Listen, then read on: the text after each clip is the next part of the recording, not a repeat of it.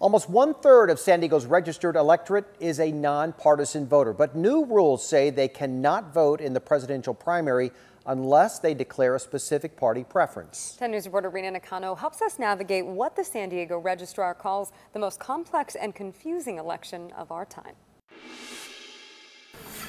Attention San Diego voters, the primaries are just 60 days away. Are you ready? First off, are you registered? Are your name and address updated? Is your party affiliation correct? Your party does matter. If you are, you can vote for presidential candidates only in that specific party. If you are a nonpartisan voter and want your vote counted for the presidential primary, you have until election day to re register to a specific party. But San Diego Registrar Michael Vu asks why put it off until the last second? Doing that on election day will only create a longer line at, on election day. Now, if you are a nonpartisan mail in voter who wants to vote for a presidential candidate, listen up.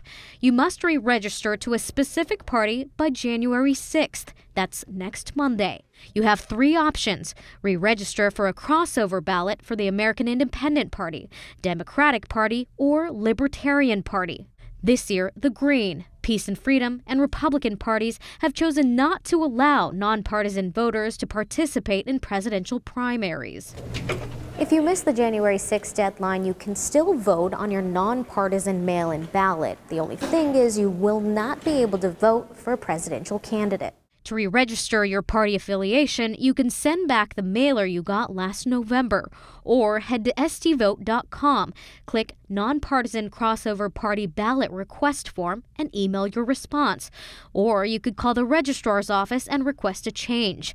Remember, the deadline to do so is next Monday, January 6th. Learn, verify, and act now. Rena Nakano, 10 News. Again, the January 6th deadline applies only to nonpartisan mail-in voters.